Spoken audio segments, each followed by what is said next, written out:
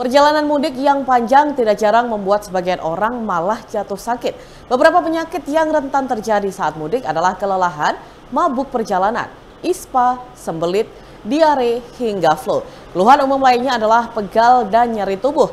Nah, agar perjalanan mudik lancar dan Tribuners bisa lebaran di kampung halaman dengan nyaman, ikuti tips mudik sehat berikut.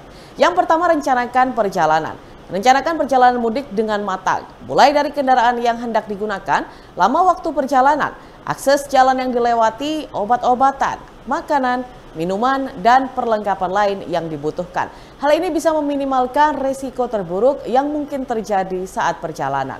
Kemudian kedua, jaga stamina. Perhatikan stamina tubuh sebelum melakukan perjalanan jauh. Misalnya dengan konsumsi makanan sehat, terutama yang mengandung karbohidrat, protein, vitamin C, dan zinc saat sahur dan buka puasa. Pastikan juga kalian tidur nyenyak minimal 6 jam sebelum berangkat.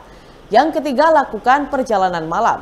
Selain terhindar dari paparan sinar UV matahari, saat melakukan perjalanan malam, kalian cenderung memiliki energi optimal karena baru saja berbuka.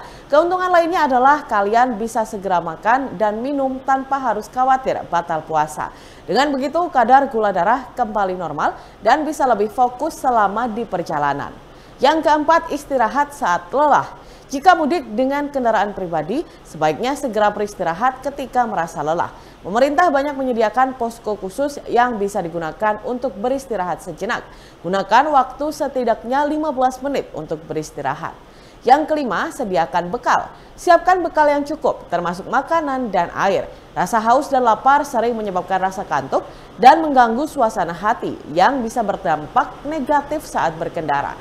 Sebab itu, kalian perlu menyediakan bekal makanan dan minuman selama di perjalanan.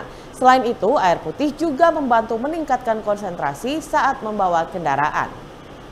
Yang keenam, bawa obat-obatan pribadi. Sediakan obat-obatan ringan seperti obat anti mabuk perjalanan, obat flu, obat sakit kepala, obat anti masuk angin, dan obat lainnya selama di perjalanan. Kalian juga perlu membawa suplemen dan obat-obatan khusus jika mengidap penyakit tertentu. Hal ini berguna untuk mencegah terjadinya hal yang tidak diinginkan selama di perjalanan. Bagi pemudik yang membawa bayi, sebaiknya periksakan dulu kondisi bayi sebelum berangkat. Pastikan kondisi si kecil siap untuk melakukan perjalanan jauh. Dan bila perlu, minta saran dokter terkait obat yang harus disiapkan bagi si kecil. Bila perlu, minta saran dokter terkait obat yang harus dipersiapkan bagi si kecil. Nah Tribuners itulah tadi tips mudik yang bisa dicoba agar tetap sehat dan fit saat tiba di kampung halaman. Hal lain yang perlu diperhatikan juga adalah patuhi aturan lalu lintas dan bawa dokumen kendaraan lengkap bagi yang mudik dengan kendaraan pribadi.